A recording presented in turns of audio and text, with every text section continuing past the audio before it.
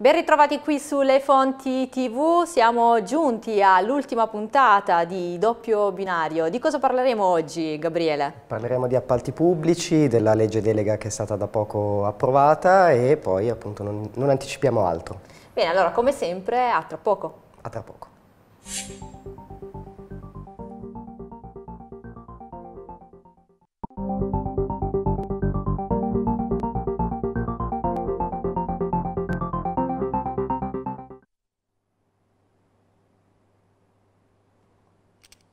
Ben arrivati qui a questo consueto appuntamento con eh, doppio binario. In quest'ultima puntata della trasmissione oggi parleremo del eh, disegno, eh, del recente disegno di legge delega da parte del governo che prevede la riforma dei contratti pubblici, parleremo anche del tema delle concessioni, lo faremo con i nostri ospiti in collegamento che saluto eh, partendo da Carlo Malinconico, partner dello studio legale Malinconico e Gentile ben arrivato tra noi.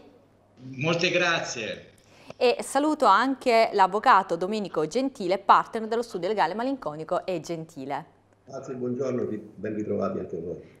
Bene, allora partirei proprio con, il, con una prima domanda su, sul tema proprio della, del recente disegno di legge da parte del governo al professor Carlo Malinconico. Ecco, il recente disegno di legge prevede, da parte del governo, prevede la riforma dei contratti pubblici con tre eh, soprattutto missioni fondamentali, l'adeguamento al diritto europeo, il riordino e semplificazione della normativa dei contratti pubblici relativo ai lavori, servizi e forniture. Quale valutazione mh, dà appunto di questa, questa iniziativa? Cosa ne pensa? Ma innanzitutto è un intervento molto opportuno perché effettivamente gli appalti condizionano un po' tutta la nostra economia. Eh, le, le, le, anche gli studi della, della Commissione europea dimostrano che eh, dagli appalti provengono in, eh,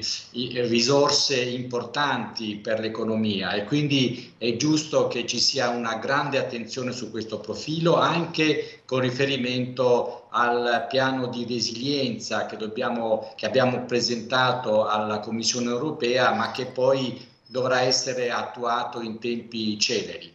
Eh, direi che gli aspetti che il disegno di legge delega del governo tratta eh, si riguardano sommariamente ehm, il, le fonti del diritto e quindi la semplificazione che è effettivamente necessaria eh, perché effettivamente eh, può essere una, un deterrente per quanto riguarda gli investitori questa, questa, eh, questa farraginosità delle nostre procedure e dall'altra parte eh, la, c'è l'aspetto della semplificazione che è pure eh, importante. Ecco, quindi eh, c'è un'attenzione un giusta a questi profili e mm, c'è una legge delega che ha diversi punti che sono meritevoli di consenso Soprattutto io direi l'aspetto eh, della mh, mm, flessibilità eh, che può essere inserita tramite l'esercizio della delega eh, per quanto riguarda queste, queste eh, procedure e poi anche ehm, l'attenzione la, agli aspetti eh, più di de dettaglio, eh, quali la maggiore flessibilità, come dicevo, delle procedure, la, la, la ricerca della, di una soluzione per il partenariato pubblico-privato, eh, la, la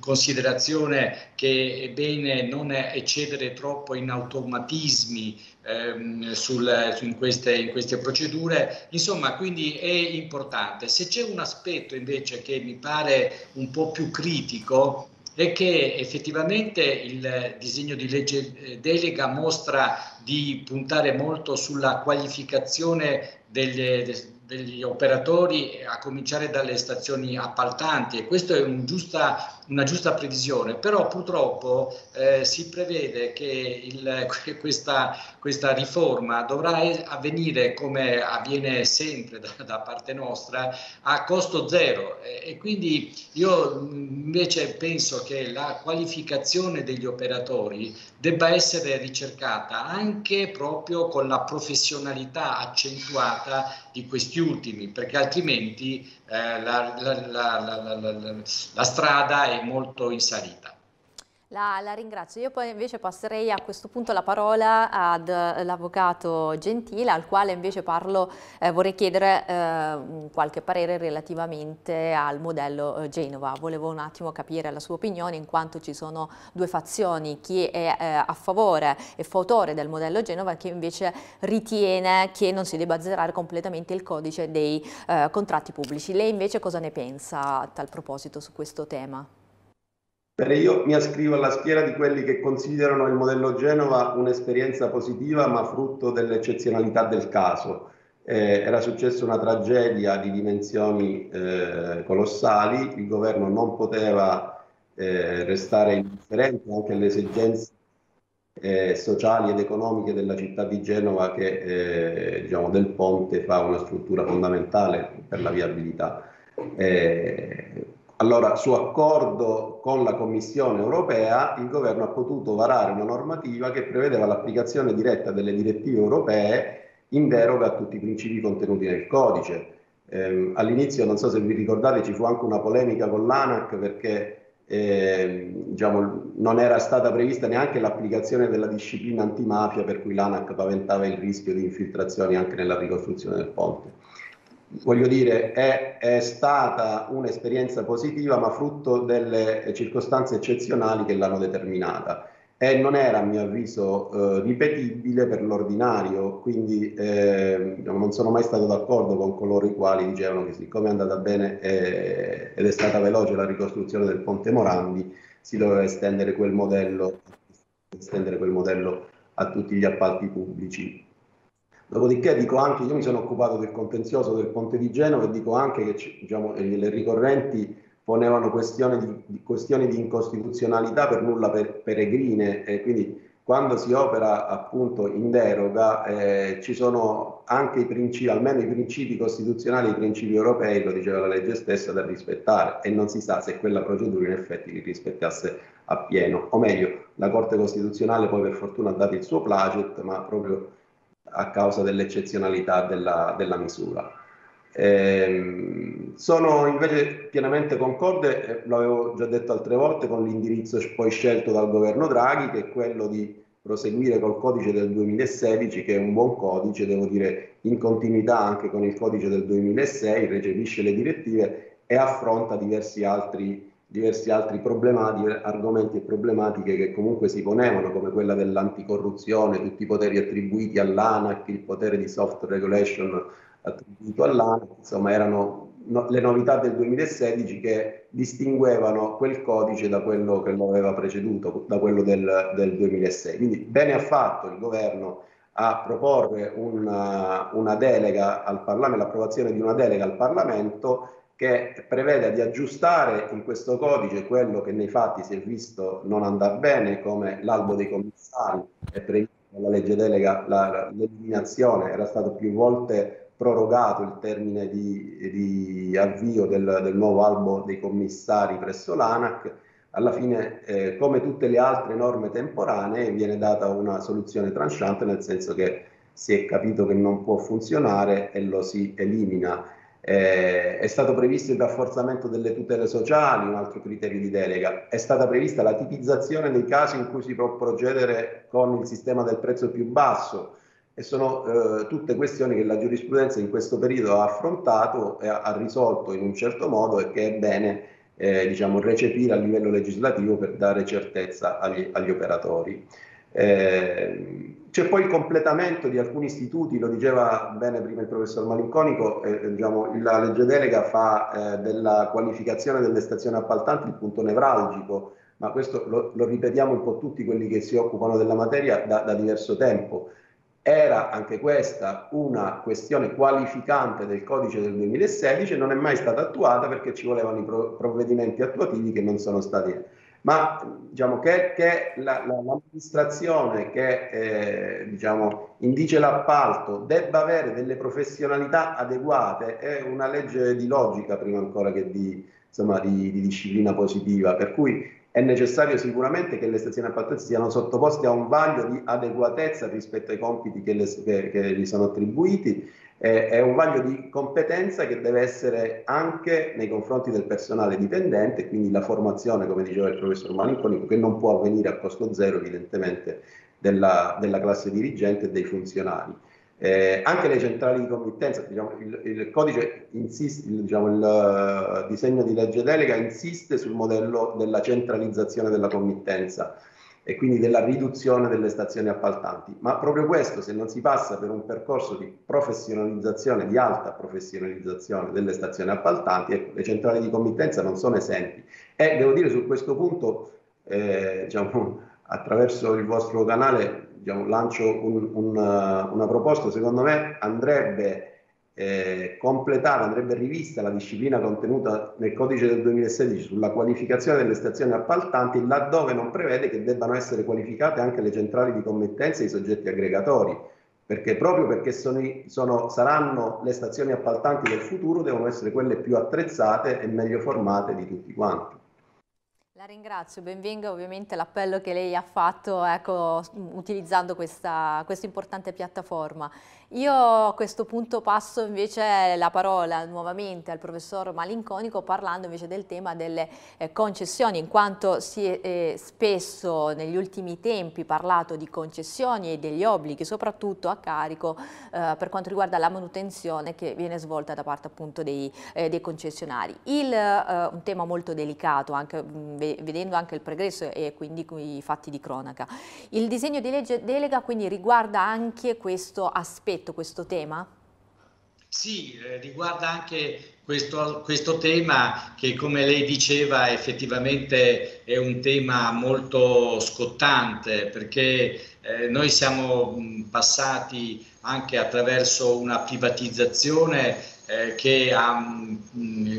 tracciato un percorso eh, di privatizzazione che eh, gli, i concessionari eh, spesso eh, tengono presente proprio nel loro modello di business però è, è, chiaro che effettivamente eh, le, il rispetto degli obblighi della concessione è un aspetto che deve essere assolutamente salvaguardato perché altrimenti, ecco, soprattutto sulla manutenzione, effettivamente ehm, c'è bisogno di una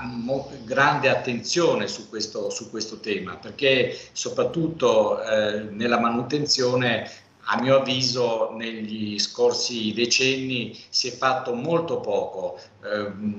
una volta per, per alcune eh, stazioni appaltanti eh, pubbliche per mancanza di risorse e per invece i concessionari nel, nell'ottica di una eh, incentivazione del profitto che ci sta naturalmente, però che deve essere molto eh, valutato e compensato eh, per evitare che ci siano eh, delle, delle, sciagure come quelle che abbiamo eh, poco, fa menzionato. Quindi è, è, importante e naturalmente ecco, quello che è anche importante è che nel partenariato pubblico-privato e molto spesso le concessioni rispondono a questo modello, ci sia un'attenzione soprattutto negli strumenti del, del, mm, PEF, quindi del piano economico finanziario, eh, che siano eh, adeguati alla, alla, necessità di una concessione che, eh, che sia effettivamente valida quindi e, e poi eh, anche l'adeguamento eh, successivo. Ora, eh, in, questi, ehm, in, questi, settori effettivamente, eh, parlo soprattutto dell'autorità dei trasporti, l'esigenza che ci sia una eh, regia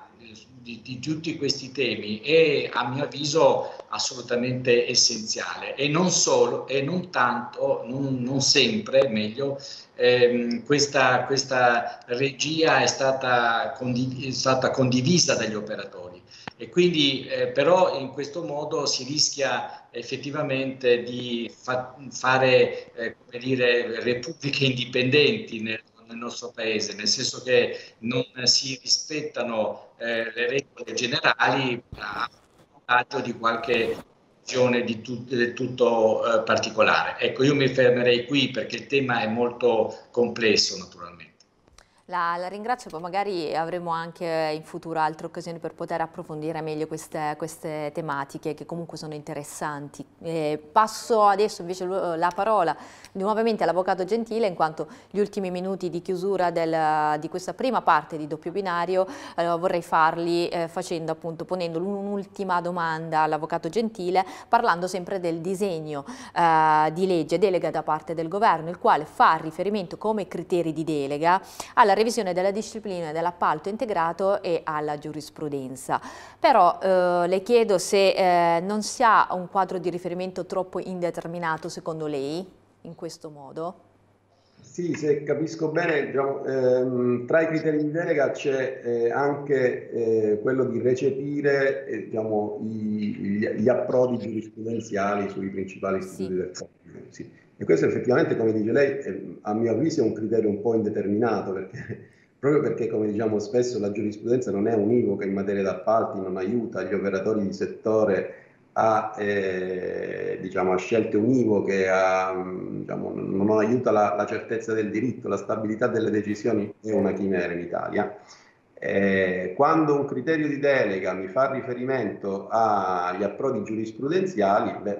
almeno dovrebbe dire anche eh, diciamo, a quali organi si riferisce. Quando, quando le, le, direttive europee eh, dicono che le ultime direttive che vanno anche recepiti gli, indirizzi eh, giurisprudenziali parlano della giurisprudenza della Corte di Giustizia, cioè della giurisprudenza che, cioè di quell'organo che interpreta il diritto europeo e, e, e quell'interpretazione deve essere osservata da tutti. Allora è chiaro che questo è un criterio di delega sufficientemente determinato. Quando si fa riferimento alla giurisprudenza interna, ma devo dire che anche le pronunce dell'adonanza penale diciamo, sono, eh, il professor Malinconico lo sa bene perché su questo argomento è arrivato alla, addirittura alla Corte di Giustizia. Eh, diciamo, l'indicazione degli oneri della sicurezza in offerta, a pena di esclusione e non a pena di esclusione, sono stati oggetto di pronunzie eh, dell'adunanza plenaria ripetute eh, almeno 4-5 interventi della plenaria in 2-3 anni quindi cosa che un tempo non si poteva mai immaginare, cioè le, gli interventi della plenaria dovrebbero essere rari su un argomento, fissi e stabili, ovviamente perché devono dare l'indirizzo a tutti gli altri giudici. Ecco, quindi questo criterio di delega, laddove fa riferimento agli indirizzi giurisprudenziali, mi sembra un po' generico.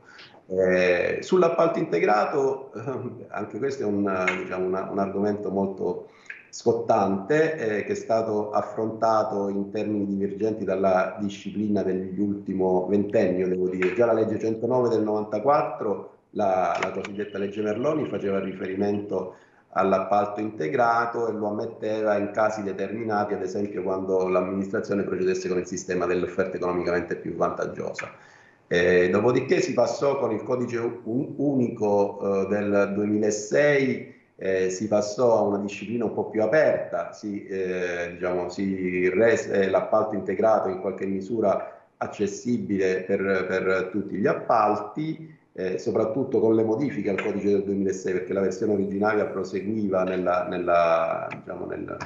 eh, nell'impronta della, della, legge Merloni. Eh, col codice del 2016, questo che adesso va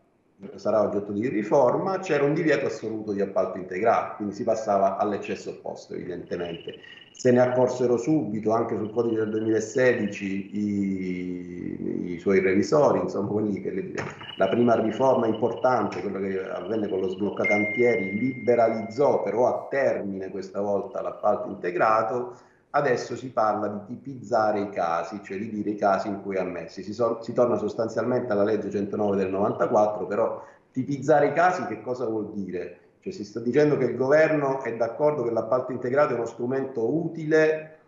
eh, il governo il Parlamento, cioè quando verrà approvata la legge evidentemente, l'appalto integrato è eh, ammesso come strumento utile e quindi ne va eh, diciamo, incentivata l'utilizzazione anche perché ad esempio l'appalto integrato ovviamente è quando l'amministrazione insieme all'opera pubblica appalta anche la progettazione e, e, se il concorrente si aggiudica progettazione ed esecuzione dell'opera è più difficile che impianti riserve e storie in corso di esecuzione sulla bontà della progettazione che è ad esso stesso imputabile. Quindi, sono d'accordo che questo è uno strumento utile sul quale eh, occorre proprio per eh, ridimensionare i termini di realizzazione delle opere pubbliche, occorre fare riferimento, quindi tipizzazione dei casi in che termini? Nel senso che Devono essere tanti casi o devono essere limitati proprio perché tipici? Quindi anche su questo punto ci vedo un po' diciamo, di genericità nell'indirizzo che la legge delega eh, attribuirebbe ove approvata in questi termini al governo. Poi ovviamente questa è una, è una proposta di legge delega, quindi il governo trasmette al Parlamento e sul quale il Parlamento farà sue, i suoi emendamenti, evidentemente è un testo migliorabile, voglio dire.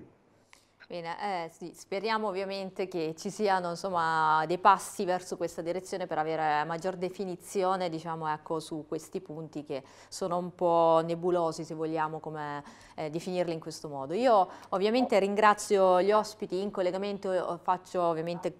chiudo questa prima parte di doppio binario ma invito comunque sia il professor Carlo Malinconico che l'avvocato eh, Gentile, entrambi partner dello studio legale Malinconico e Gentile Gentile a restare, innanzitutto li ringrazio, e a restare in collegamento. Grazie per essere stati qui con noi in questa prima parte di doppio binario.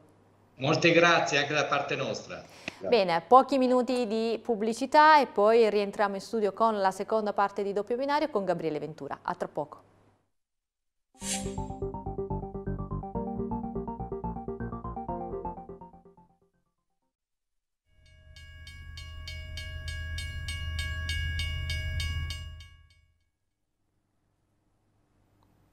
Ben ritrovati ai nostri telespettatori per la seconda parte di doppio binario. Continuiamo a parlare di appalti pubblici, in particolare della legge delega di cui abbiamo ampiamente parlato nella, seconda, nella prima parte e ci concentreremo in particolare su alcuni dettagli tecnici anche grazie a un uh, nuovo ospite che ci ha raggiunto anche sempre sei sempre in collegamento. Lo presento subito, la dottoressa Alessandra Zuzzi, responsabile di stazione appaltante in materia sanitaria. Buongiorno, benvenuta. Buongiorno e grazie per l'invito. Grazie a lei per essere qui con noi. Saluto anche l'avvocato Carlo Malinconico, partner dello studio legale Malinconico e Gentile. Buongiorno anche da parte mia. Grazie, molte anche buongiorno da parte mia. E saluto anche l'avvocato Domenico Gentile, partner dello studio legale Malinconico e Gentile. Benvenuto anche a lei. Grazie, buongiorno, buongiorno a voi e ai telespettatori. Bene, parto da lei, professor Malinconico, e le chiedo, il testo della legge delega prevede che sia semplificata anche la fase della progettazione e la fase esecutiva, mentre eh, non era mm, prima considerata dalla normativa che si concentrava soprattutto sul momento della gara. Le chiedo, questo può essere il momento di svolta? Sì, secondo me sì, perché effettivamente quando si parla delle gare eh, certamente è un argomento molto, eh, molto consistente per eh, accelerare eh, le procedure di, di, appalto, però non è soltanto questo purtroppo, perché le, le, le procedure delle gare sono previste e, e, anche i termini sono normativamente già stabiliti ed è, sono e anche il, il, controllo giurisdizionale in genere è molto rapido da parte del TAR e del Consiglio di Stato. Quindi eh, è, è, vero che uh, va centrata l'attenzione sulla, sulla, gara, però è anche vero che non è solo quello, perché altrimenti eh, se si perde di vista la progettazione e, e, e anche l'esecuzione del, eh, del, del, contratto di appalto si fa una riforma a metà. E quindi è importante questa sottolineatura del, che riguarda appunto la, la frase della progettazione e anche, dice la legge delega, eventualmente con una riduzione dei livelli di progettazione. Vediamo quello che sarà la, la previsione, però effettivamente è un aspetto eh, molto importante, così come quello dell'esecuzione. Sì. E già nel, nel, nel,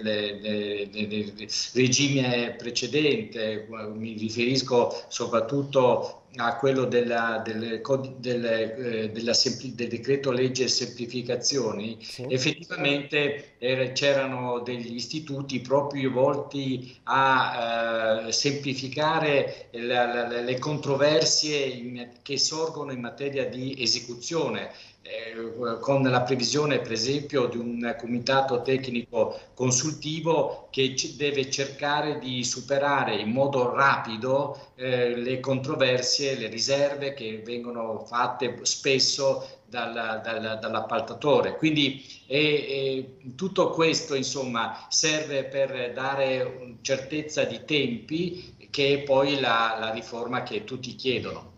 Certo, sì, la certezza sui tempi è fondamentale anche per quanto riguarda chiaramente gli investimenti. E, dottoressa Zuzzi, passo a lei e le chiedo, gli appalti non riguardano soltanto le grandi opere ma anche il settore dei servizi. Quali sono le maggiori criticità in questo particolare settore?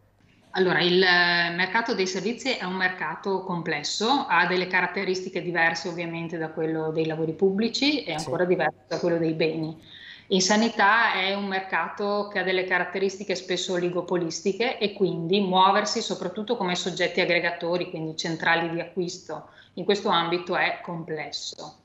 Eh, le vicende di questi anni che hanno appunto caratterizzato le gare centralizzate hanno mostrato dei problemi non facilmente risolvibili, anche se la legge delega ovviamente cerca di puntare a semplificazione, contenimento dei tempi e applicazione nell'ambito sociale, sono tutti diciamo, principi che sono già contenuti ovviamente nelle direttive e nel codice, ma che sarebbero in base a questi indirizzi eh, ulteriormente mh, resi più semplici e meno complessi, meno contorti, perché la nostra legislazione, la legislazione italiana, è abbastanza complicata.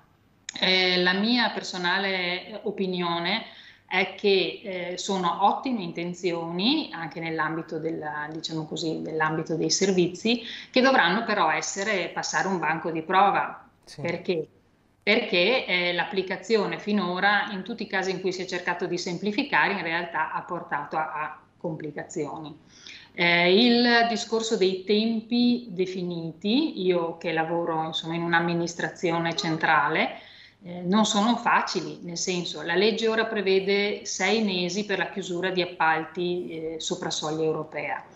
mm, compresi di, i tempi di presentazione delle offerte, di valutazione della commissione, tutto quello che insomma porta all'aggiudicazione. Questo è molto difficile da ottenere anche perché spesso eh, lavoriamo con commissari in sanità che in realtà sono impegnati già nel fronte eh, professionale e quindi non è che li possiamo portare all'interno dell'amministrazione e tenerli qui eh, in continuazione.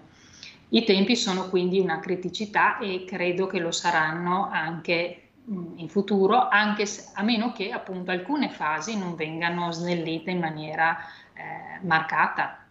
Per dire la fase di valutazione sì. della busta amministrativa eh, che sembra essere, che è stata semplificata, in realtà adesso col soccorso istruttorio porta comunque a lungaggini, quindi sono tempi che forse mh, con un'inversione procedimentale o con altre modalità si potrebbero tagliare. Eh, altri aspetti riguardano la clausola sociale, l'applicazione dei contratti collettivi nazionali di lavoro, ma questo non vorrei magari rubare il campo a chi ecco. ecco, avvocato Gentile, infatti passo, passo, a lei la parola e le chiedo appunto, restando sullo specifico settore dei servizi, quali modifiche a suo avviso sarebbero necessarie e come si fa appunto a semplificare senza complicare?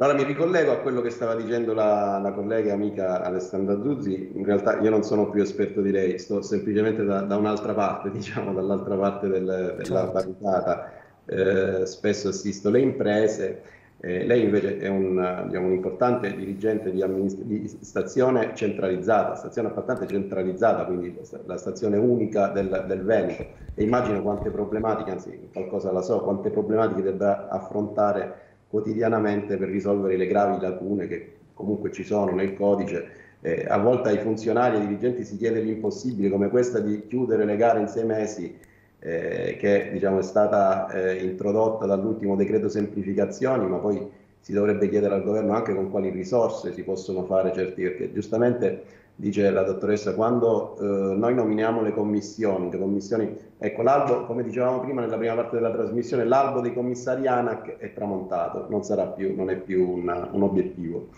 Eh, Bene, perché le stazioni appaltanti possono fare riferimento a commissari che nomineranno perché sanno capaci in quello specifico settore, per esempio quando si deve valutare eh, diciamo, l'acquisto di, di, medicinali in sanità non si può che fare riferimento a, alle professionalità che gli ospedali hanno, ma che purtroppo fanno anche altri mestieri evidentemente, purtroppo o per fortuna per noi tutti che siamo gli utenti della sanità. Eh, allora diciamo, ecco, eh, distogliere magari i medici perché devono stare in commissione e chiudere la gara da lavori importanti che possono comunque avere e che sicuramente hanno, eh, diciamo, non possiamo eh, per, per, aggiustare una cosa ecco, guastarne un'altra che funziona. Eh, detto questo, diciamo, giusto, giusto, in premessa, i problemi ci sono e sono, risalgono anche a, a, diciamo, a tempo prima dell'approvazione della, dell dell'entrata in vigore del codice del 2016 anche nei rapporti, ne, nello specifico settore dei servizi, ma nei rapporti tra centralizzazione, ad esempio, e piccole e medie imprese, quindi possibilità di partecipare alle gare d'appalto da parte delle piccole e medie imprese e quindi una certa equiparazione nelle par condicio, nel, diciamo, nelle modalità partecipative, nelle chance che si danno. Devo dire, l'Europa punta molto sullo sviluppo del mercato delle PMI è uno dei eh, profili cruciali delle direttive del 2014, è proprio quello lo sviluppo e l'incremento del mercato delle PMI. Quando le imprese si ingiganti, quando le, gli appalti si ingigantiscono, per forza di cose anche i requisiti diventano più elevati e qualche difficoltà partecipativa le PMI iniziano ad avvertirla. Quindi in un momento in cui si spinge per, la, eh, diciamo, per l'ampliamento del mercato delle piccole e medie imprese, andare a centralizzare e ingigantire gli appalti, noi abbiamo sempre detto, è un po' eh, in contraddizione. E questo le direttive lo consentono in realtà, ma dicono sempre che bisogna stare attenti nella centralizzazione a non far danni appunto all'ampliamento del mercato in favore delle PMI, così come anche agli, agli appetiti illeciti, diciamo così, perché le grandi gare fanno in qualche misura gola a, a, diciamo, agli apparati eh, eh, non, diciamo, non leciti alle, alle, prassi che invece le direttive vogliono combattute, insomma eh, giustamente le direttive mirano anche alla lotta della, alla corruzione e incentivano gli Stati membri ad aumentare questa, questa, lotta alla corruzione. Quindi un problema nel contrasto che c'è tra centralizzazione, contrasto diciamo di finalità tra centralizzazione e ampliamento del mercato delle PMI e lotta alla corruzione. Ehm, Tante altre cose si potrebbero semplificare nel settore dei servizi, ma purtroppo eh, diciamo, la, l'attenzione che il legislatore dedica agli appalti di opere pubbliche non è mai quella che dedica anche agli appalti di servizi. Si pensa sempre prima alle opere e poi si estende la disciplina ai servizi. In questo caso dico, dobbiamo salutare favorevolmente una previsione che finalmente c'è di differenziazione laddove nella, ehm, diciamo, nella riforma del, degli strumenti di negoziazione eh, attraverso il partenariato pubblico-privato si invita il governo a stabilire una disciplina specifica per le concessioni, quindi per i PPP, i project in generale di servizi, quindi una disciplina specifica che secondo me andrebbe pensata, prima o poi dovremo pensare di introdurre anche per gli appalti ordinari e non per le concessioni, perché una cosa, ripeto, sono gli appalti di lavori e altra cosa sono gli appalti di servizi. Ad esempio, negli appalti di lavori il sistema di qualificazione delle imprese, cioè di selezione dei concorrenti, è fondato sulle, sulle società, organismi di attestazione, sulle famose SOA. Eh, nel settore dei servizi invece la qualificazione si fa gara per gara, ma allora io mi domando perché continuano a perdurare, a esserci iscrizioni in albi che sono eh, superati dal tempo, tipo l'albo delle imprese di pulizia presso la Camera di Commercio con le fasce di classificazione, piuttosto che l'albo del facchinaggio, l'albo delle imprese che fanno eh, diciamo, le, le, le abilitazioni prefettizie delle imprese che fanno servizi di vigilanza. Ci sono una serie di duplicazioni di, eh, diciamo, di, di requisiti, di richieste di requisiti che sono un inutile appesantimento burocratico della procedura di gara. Ecco perché se l'amministrazione poi deve controllare, oltre ai fatturati, anche le iscrizioni in albi e richiedere mille, eh, mille comprove all'esito della procedura, si rallentano le gare e non si riesce a chiuderle, diciamo, chiuderle nel termine di sei mesi, è davvero una chimera, ma non, tra l'altro il termine di sei mesi, lo dico diciamo, a beneficio di quello che diceva prima Sandra Zuzzi, il termine di mesi previsto con minacce di responsabilità contabili del funzionario che non rispetta, insomma una serie di, eh, di reprimende che, che gli, molti amministratori non meritano. Ci sono quelli eh, diciamo, evidentemente fannulloni, ma eh, la maggior parte, devo dire, ci mette l'impegno, ma poi si, si trova con strumenti inadeguati. Assolutamente. Dottor, dottoressa Zuzzi, torno da lei, eh, appunto visto l'importante ruolo che, che riveste, che abbiamo sottolineato, sia sul fronte sanitario sia anche eh, a un ruolo anche di carattere associativo, le chiedo di fare un po' eh, una riflessione finale eh, per quello che riguarda la, questa legge delega, lo ricordiamo è un punto di, di partenza che poi eh, chiaramente dovrà essere sviluppato e vedremo come. Prego intanto. Eh, grazie. Allora sì, riprendo il tema dell'aggregazione e del mercato delle piccole e medie imprese sì. che si sposa, che si sposa, nel senso che un po' è in contraddizione con una delle linee che vedo nella legge delega, cioè quella della qualificazione, che va benissimo, delle stazioni appaltanti e della loro riduzione. Perché ovviamente ehm, in sanità abbiamo dei soggetti aggregatori regionali che hanno eh, gestito e accentrato le tematiche di, di appalto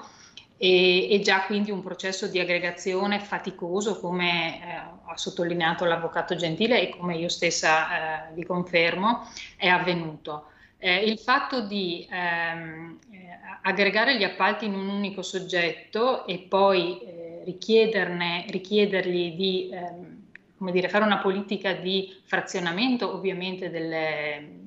dei bandi e delle forniture che vanno a gara, frazionamento che è un termine pericoloso fra l'altro perché è anche vietato dalla legge, ma bisogna vederne i termini, naturalmente modi, eccetera.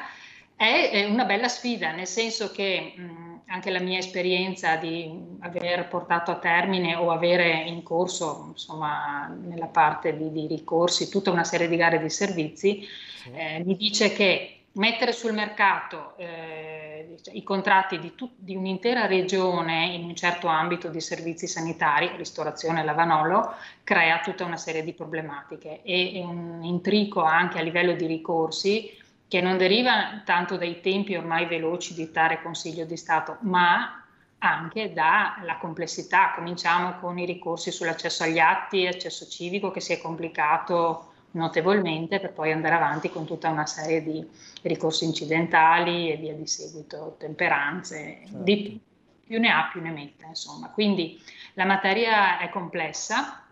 eh, io spererei appunto che eh, in qualche modo il legislatore riesca a darci una linea mh, per, per riuscire a uscire da questo impasse, ovviamente non è semplice, perché poi anche le pronunce giurisdizionali sono di, in senso spesso diverso, opposto, ecco, quindi anche noi facciamo molta fatica a, diciamo, a, a, scegliere una linea. A me è capitato di partire con gare a lotti e poi di finire in un intrico di ricorsi riguardo alla posizione del vincolo cosiddetto di aggiudicazione, un numero massimo di lotti da aggiudicare o meno, eh, io sono stata censurata perché non ho messo il vincolo, un collega di un'altra regione, sempre eh, diciamo, responsabile di un soggetto aggregatore, è stato appunto ripreso e insomma, ha avuto un'ispezione della, della Guardia di Finanza perché ha messo il vincolo, veramente non sappiamo più da che parte, come muoverci, insomma, senza rischiare anche personalmente perché insomma, non è proprio una cosa simpatica. Quindi speriamo che il legislatore, che dovrebbe essere, insomma, mi sembra di capire che all'opera ci sono eh, massime competenze, il Consiglio di Stato, Corte dei Conti, eccetera, ANAC, quindi se loro, insomma, ho trovato intelligente che fossero coinvolti in questa cosa perché poi chi ci crea eventuali difficoltà sono loro, nel senso che magari ANAC sceglie una strada, Consiglio di Stato va per un'altra il TAR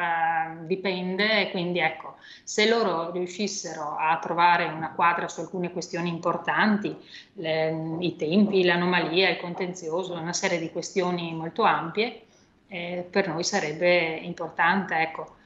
avere delle linee precise su cui muoverci su determinati argomenti. Questo è un po' l'auspicio, io sì. Avendo tanti anni alle spalle, di, sono vecchia della professione, sono un po', come dire, non sono proprio così fiduciosa, però speriamo di vedere, insomma, questo momento storico per il nostro paese di vedere qualcosa di meglio, ecco, di qualcosa di finalmente risolutivo. No, esatto, infatti è un, è un, momento storico molto particolare, è una delle tante sfide che, che ha aperto questo, questo governo e insomma confidiamo che ci siano effettivamente dei passaggi risolutivi. Bene, io vi ringrazio per essere stati con noi, la dottoressa Alessandra Zuzzi, responsabile di stazione appaltante in materia sanitaria,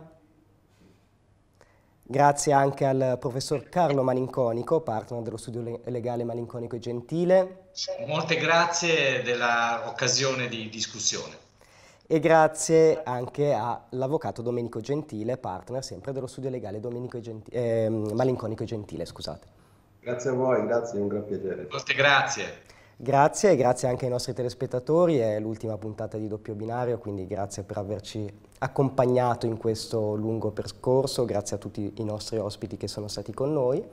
e vi do appuntamento insomma alla, alla prossima puntata di, eh, appunto, legata all'ambito legale sempre sulle fonti tv.